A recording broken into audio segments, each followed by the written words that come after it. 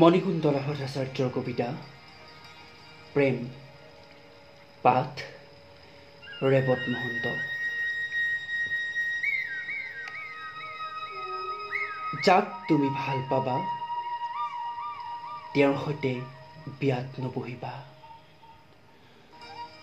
নুখুজিবা তেওঁৰ সৈতে শুবলৈ সদায় একেলগে খাবলৈ অথবা অনৰ্গল কথা পাতিবলৈ।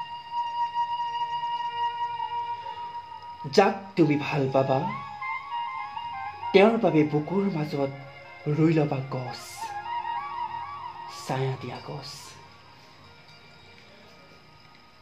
যাক তুমি ভাল পাবা মৃত প্ৰতিমাৰ দৰে সজাবা তেওঁক। আদম বা ইভৰ হাতেৰে চুবা। আৰু নিজকে সেই ঐশ্বৰ্যৰ অধিকাৰী বুলি মনে মনে গৰ্বিতও হবা। সদায় মনত ৰাখিবা।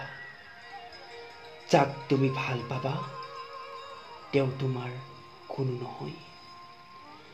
তেওঁতো কৃষকৰ শস্য কাহানিও নুঘালিবা তেওঁৰ শিপা। তেওঁ যি দিয়ে সেয়াই তোমাৰ প্ৰাপ্তি। যিদৰে তুমি গ্ৰহণ কৰিবা তেওঁ সেয়াইতো ভাল পোৱা।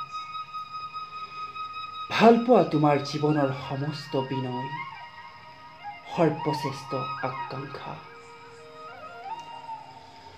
অহৰহ কাষতে বিচাৰিলেও যাক তুমি গৃহবন্দী নকৰা এই এজনৰ বাবেই তুমি নিৰ্মল হোৱা।